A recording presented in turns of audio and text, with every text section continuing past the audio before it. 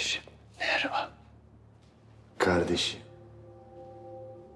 Her şeyi mahveden laf. 20 yıl evvel. Ağzından bu laf çıktı diye bu haldeyiz.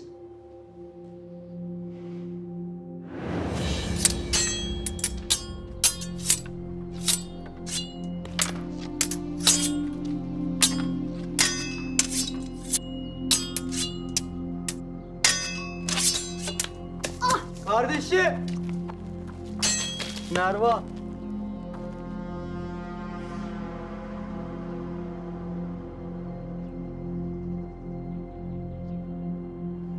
Kuralları bilmiyor musunuz?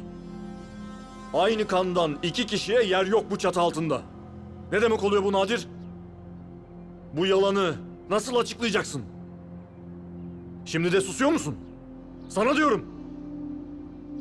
Yarın şafak vakti birbirinizle düelloya çıkacaksınız. Ölümüne kılıç savuracaksınız. Hayatta kalan burada kalır.